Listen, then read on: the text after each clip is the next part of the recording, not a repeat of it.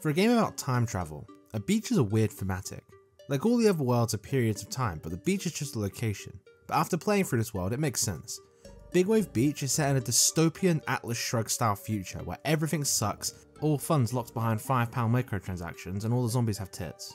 Now I know this is the world you're looking forward to because you all want to see me suffer, but just make sure to inflate my e- I mean subscribe to get me ever so closer to that seductive play button. Day 1 as always sets the scene for my newest round of self-inflicted torture. It's wild to me that it took them this long to bring water back to the game. The pool stage is easily the most iconic map from the first game, largely thanks to the endless mode, so it's just weird to me that they waited so long. The water here is a lot more involved than in the pool level though, with a shifting tide that can fully board wipe if you're not careful. Similarly to the Icy Winds in Frostbite Cave, I really like this gimmick.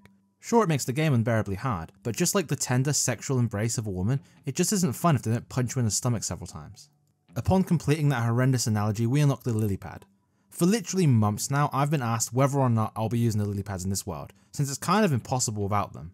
But in a twist of rare PopCap good games design, we actually don't need to use the lily pads here, as we can place nuts on existing lily pads and then use the plant food on the nuts to create more lily pads. It's a real slurp juice on an ape situation.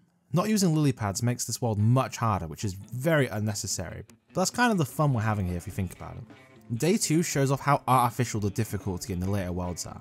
Even beyond the irritating unique zombies and the ball busting world gimmicks, these later levels just shit out more and tougher zombies. Can you imagine back when you can unlock worlds in any order, picking Big Wave Beach after Egypt, and bringing your Bloomerang into day 2 of this world? Day 3 is a tutorial for the last plant in the entire game that needs a tutorial, the Chomper. This fella has such a clear visual gameplay identity that someone who has just picked up the game would have no issue whatsoever guessing what he does, as long as they've paid the £5 entry fee to use those luscious green lips. Day 4 is really pushing the limits of how little variety they can get away with in these early levels. I beat this level with no difficulty, but let it be known that these peanuts are purely for display here and are contributing zero to beating these levels. If the game doesn't want to do anything with this level, I will. I have a VOD channel. I personally don't know why anyone would want to watch hours and hours of me struggling through the game, but Twitch chat loves it and I've had countless requests for a VOD channel, so there you go. Look, I'll be honest, I've branded it as a quick and lazy upload channel, but it actually takes like 12 hours to render and upload these videos. So uh, please go subscribe so I can get it monetized and justify it so it feels better. Cheers. Day 5 is a conveyor belt level which teaches us how to use the tangleweed, which is a super iconic plant from the first game. You can really feel how much of this world is balanced around using this guy. Being down a tangleweed is a real ball ache. Did you know that the last time I went to a beach I got stung by a jellyfish? I didn't do anything to him, but he stung me and my foot really hurt. And if that wasn't heart wrenching enough, no cute girls came and peed on me. I fucking hate the beach. Day 6 introduces the snorkel zombie. Due to the close range nature of nuts, these guys are absolutely nothing. The snorkel zombie lost his t-shirt in the transition to the second game. God forbid a fellow wear some swag. Day 7's already bringing the safety line back way too far for us to use. I'm not sure what the point of a safe word is if we forget it 5 minutes in. It was this level that I had a real grim realization. The gum nut doesn't work in water. It basically means we're down one of our two hypercarry nuts, which is disastrous for this world. With this news, I was crushed. This world might be impossible. Now this is peak Plants vs Zombies right here. I fucking adored Walnut Bowling in the first game, and seeing it reimagined here is so cool. Consider my spirits high and my glasses tinted rose. We can definitely beat this world, no sweat. Day 9's Big Wave Beach's other type of gimmick level. Stages with weirdly redundant objectives. It sounds stupid, but I'll point them out when they come up. They absolutely did this on purpose. In this one we have a mold colony, but they could have just moved the safety line back and it's functionally the same thing. This one's the least bizarre because it does change how you can use lily pads, but it gets weirder. I love these levels, they're just quirky. Day 10's the level I've been most excited for since the very start of this game. It's the level we unlock the final nut for this challenge. If you thought the Primal Walnut was the last trick I had, you're a fool because I have one last surprise up my sleeve. The true silver bullet of this challenge, the bowling nuts. That's right dear shaggers, your eyes do not deceive you. My influence has become so potent I manifested peak Plants vs Zombies into one tangible plant. Now this guy's pretty fucking sweet, but I won't be spamming him on every level. Too much of a sweet thing and all of a sudden your piss smells like sugar puffs. Day 11 has a new player in the surfing zombie. Unlike other insta-kill zombies, this guy's a threat, as even though we can just blow him up with our exploding nuts, he kills the lily pad underneath the nut as well, and he leaves a surfboard despite being atomized on the spot. Other than that, this one was a sweep. Day 12, plan your defense. Looking back on the gameplay for this one really pisses me off because I only half spammed peanuts, saving 250 sun for Explodo nuts, and I ended up digging up like 3 peanuts for more Explodo nut funds. We beat level first try, but at the cost of a sacred tradition. Day 13 is probably the hardest sun production level we've had yet, as we face 3 major challenges here. Producing 2000 sun, not exceeding 16 plants total, which sounds easy, but remember that includes lily pads, and the unwritten challenge of only starting with a single row of lily pads with no dry ground. This means we had to dig up sun nuts last seconds to replace them, which the sun nut really doesn't synergize with as it needs to regrow back to its former size. This took a couple of tries and I was about to give up on this one as I had lost all my lawnmowers until I remembered I can just stall out a single zombie indefinitely and then this level became pretty easy. Day 14 doesn't let us pick up plants, but it does give us access to the walnut bowling and the OG walnut. This level took a few tries since walnut bowling isn't that great. 200 sun with no sun producers is tight, but we got it down with the help of lawnmowers. The bowling nuts may be really expensive and not do that much damage, and be way more fragile than all the other nuts, but they do fill a very important role in our force. Their plant food effect is straight busted. In fact, it's only now that I've used this plant food I realise how lackluster literally all of the nut plants food are. Except this one, that a holographic condom doesn't serve us in offense. Day 15 is the first brutally hard level of this world, and it's also our second entry in the weirdly redundant level list. It's a protection level where we're tasked to guard a row of potato mines, which is almost identical to a flower line level, with just the very small detail of the most annoying hit detection you can imagine. The major difficulty from this level comes to the fact that we're not giving a single lily pad to work with. We start off by trying to use peanuts to clear chaff until the tide goes out, but if you know much about peanuts, that didn't work. This level is unrelenting. When the tide goes out, it's manageable. The exploding nut can carry pretty easy, but it's towards the end of the level, when the tide wipes out the entire field and it pulls out the world's most annoying secret gimmick, a double final wave. This world has a horrible habit of chucking out a huge wave of zombies just before the final wave, forcing you to split your plant food between the two waves. The amount of times this move baited me into splooging all of my plant food just to be met with an even bigger wave is frankly embarrassing. After 3 hours of runs using lily pads, I was able to beat this level via an actual act of god, which involved every single last zombie spontaneously combusting. But this was just a formality for Twitch chat, who didn't want to watch me repeat this level endlessly. I did go back and spend a further 3 hours running it back with the bowling nuts and zero lily pads, repeating the level over and over and over again until I got the perfect RNG on the bowling nuts. In total, I spent about 6 hours on this level, which left me on my hands and knees begging that this is the longest level in this run, because I don't know if I can do this again. Day 16 is a conveyor belt level, which is lame and boring. Did you know that just after I finished the audio and script for this video, I lost all of the footage for Big Wave Beach, meaning I had to beat this world twice on stream. So just know all of the bitching and moaning in this video, I had to go through twice. I'm such a fucking idiot. Going into day 17, I have a real bone to pick for my viewers. For months, I've had hundreds of comments saying that Big Wave Beach would be hard, but at least the Infi-nut nullifies all the hard zombies. I've been told this over and over and over again, that the Infi-nut plant food will carry me through this game. I thought that as long as I save my plant food for the Infi-nut, the saviour of this run, I can handle the Octo Zombie no problem, like I've been told for months. And this is the day, his grand arrival. And does the Infi-nut counter the Octo Daddy as was foretold? Does he fuck? He smothers my nuts in tentacles hentai style. Anyway, here's my potentially hot take about the Octo guy. Despite being much more tanky than the wizard zombies and the tentacle persisting after his death, I think the wizards are actually a much bigger deal than the Octo. The Octo Daddy's individually stronger, but the game never sends that many at you, but the wizards were coming at you 5 at a time. That said, he will still be an absolute nightmare. Day 18, and holy shit, this guy's peak.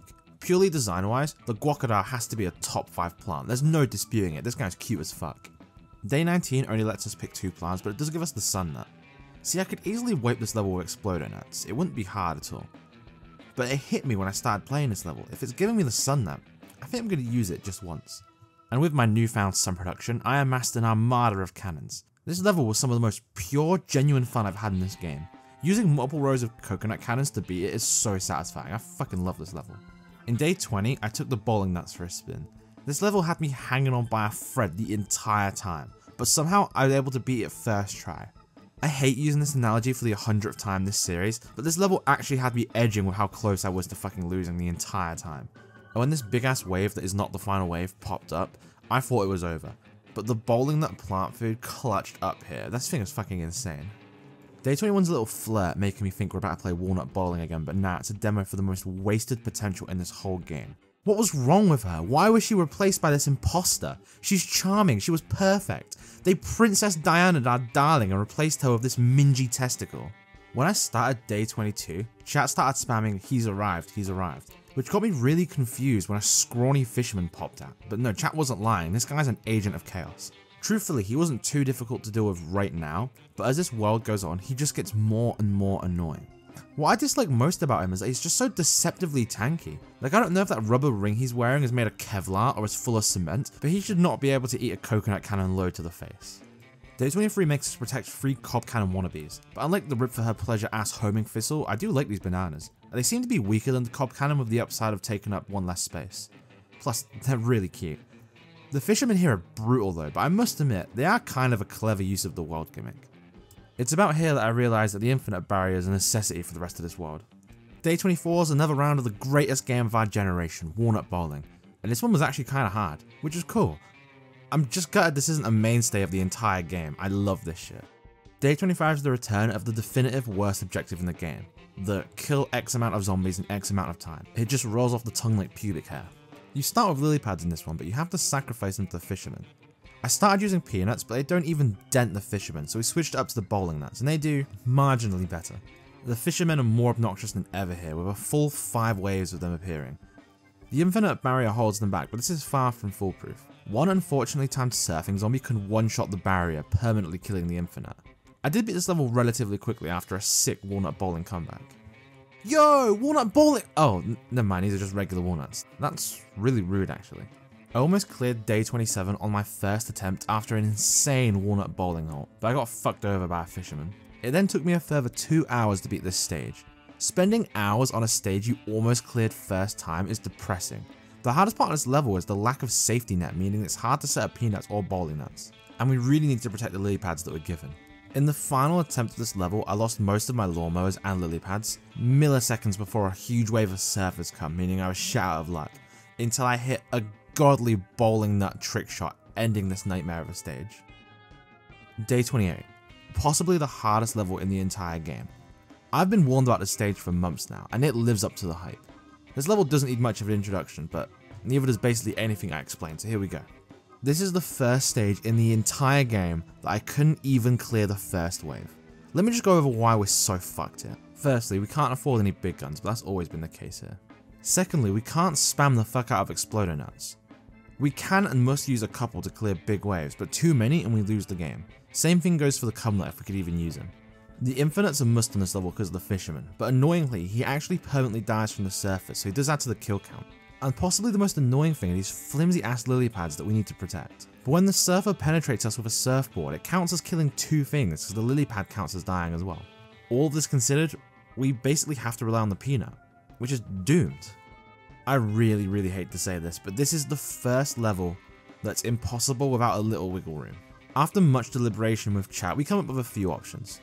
Firstly, leveling up some weaker plants. This is a pretty decent idea. The walnut and peanut aren't seeing any play these days, so it adds some much needed variety to the challenge. But we still have one more world to do and I want to be able to beat the entire game only using level 1 plants. Using lily pads could take some pressure off the starting pads, but I don't think it's nearly enough to help. Chat suggested buying plant food or using power-ups, but who do I look like to you guys? In the end I just allowed myself to use sun nuts. With these I was able to beat the level in about an hour using coconut cannons and infinite, but to be honest, I kinda regret the choice. I went back to beat the level using peanut spam, and some very minor not so important worth overlooking help from the Enforce-mint. This plant is on a different level to the rest of the game, it's bonkers broken, but it does feel better to win this way since the peanuts got to do something for the first time since Egypt. I don't know how I should have beat this level, but when it comes time to put all these videos together for one final remastered nut video, I think I'll put some more hours in this level to find a better way to beat this stage, so subscribe to stick around for that. Day 29 is really weird. It's a plan your defense with really few lily pads and zero in the middle lane, but somehow it was just like really easy. I beat it using peanut spam. I can't really tell why it's easy, but that's mostly because my brain is fried from the last level. Day 30 and I can't fucking believe it, but this level is almost as bad as the last one. We have to protect a row of God's most precious creations, the Guacodiles. I almost put this level onto the category of weirdly redundant challenges. It's the same as the Potato Man level where they're basically just flower lines. But there is a major major difference here. If a fisherman so much as hooks a crocodile, it's game over. The game design here honestly feels so hostile, this is, this is mean. I wish I had more to say about this one, but I beat it by repeating the level over and over and over again for about 2 hours so I could get the perfect RNG on the bowling that plant food, which is a tough one because I had to spend almost all the plant food keeping up the infinite barriers to permanently avoid the fishermen. I had what I thought was a genius idea to let the Octodaddies tentacle fuck all the crocodiles so they don't get set off by the fishermen, but they shoot way too slow and don't appear enough for it to really work. The back half of this world has been fucking agony. Day 31's a boring level where you don't get to pick your plants. Fuck the homing thistle. The penultimate Zomboss is actually really cool. I love that you can clog its engines with Tangle Kelp, and it has its own animation, that's really awesome. With Big Wave Beach down, that leaves only one more world remaining. Let me tell you, it's scary knowing the series is coming to an end. Making these videos has completely consumed my life for the last 6 months, and I've loved every second of it. I just hope I can keep up this growth after the Nut Challenge ends. In fact, just for you guys that stuck around to the end, here's a little teaser for what's coming up after this series. What's the best feeling after a nut? A good old piss. So please subscribe to stick around for the piss video that's coming out next. Lastly, I just wanted to shout out the bowling nut. I had a small independent game developer help me sort that out, so you can check out their work in the comment, go show them some love. And I have credits to what I think is the original source for the bowling nuts, but content farms have made tracking down the original source for these things so hard. So if I do get 100% confirmation on a source, I will put that in the description. And lastly, thank you to my Patreons. Emerald Gaming 64, Don't Trust Bananas, Nooblet 67, Yaron Dragon of Rebirth, Encore, Zetal Filmoid, Ralph Animation, Nightmare Balloon Boy, Mr. Mutant, Augusto Varkir, Slendy5k and Glitch. That was actually one take, I'm very impressed with myself. As always, thank you very much for watching. Cheers.